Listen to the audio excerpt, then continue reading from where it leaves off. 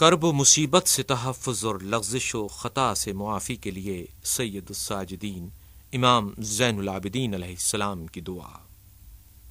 ए मेरे माबूद, मेरे दुश्मनों को मेरी हालत पर दिल में खुश होने का मौका न दे और मेरी वजह से मेरे किसी मुखलिस दोस्त को रंजीदा न कर।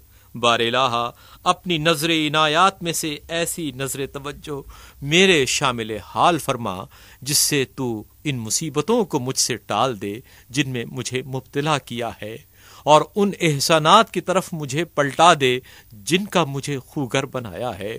और मेरी दुआ और हर उस शख्स की दुआ को जो सिद्क नीयत से तुझे पुकारे कबूल फरमा क्योंकि मेरी कुव्वत कमज़ोर, चाराजोई की सूरत नापैद और हालत सख्त से सख्तर हो गई है। और जो कुछ तेरे मखलूक़ात के पास है, उससे मैं बिल्कुल ना उम्मीद हूँ। अब तो तेरी पहली नेमतों के दोबारा हासिल होने में तेरी उम्मीद के अलावा कोई सूरत बाकी नहीं रही। अय मेरे माबूद परवरदिगार, जिन रंजो आलाम में गिरफ़्तार हूँ, उनसे छुटकारा दिलाने पर तू ऐसा ही कादिर है जैसा इन चीज़ों पर कुदरत रखता है जिनमें मुझे मुब्तला किया है। बेशक तेरे एहसानात की याद मेरा दिल बहलाती और तेरे इनाम तफजुल की उम्मीद मेरी हिम्मत बंधाती है। इसलिए कि जब से तूने मुझे पैदा किया है, मैं तेरी नेमतों से महरूम नहीं रहा। और तू ही ए मेरे परवरदिगार, मेरी पनाहगाह, मेरा मलजा, मेरा मुहाफिज पुश्त पन्हा, मेरे हाल पर शफीक मेहरबान और मेरे रिस्क का जिम्मेदार है। जो मुसीबत मुझ पर वारिद हुई है, वो तेरे फैसला कज़ा कद्र में, और जो मेरी मौजूदा हालत है, वो तेरे इल्म में गुजर चुकी थी। तो ए मेरे मालिक सरदार, जिन चीज़ों को तेरे फैसला कजा कदर ने मेरे हक में तय किया और लाजिम ज़रूरी करार दिया, उन चीज़ों में से मेरी आफियत और वो चीज़ जिससे मेरी बहबूदी और जिस हालत में हूँ, इससे रिहाई वाबस्ता है करार दे। क्योंकि मैं इसमें मुसीबत के टालने पर किसी पर उम्मीद नहीं रखता और ना इस सिलसिले में तेरे अलावा किसी पर भरोसा करता हूँ।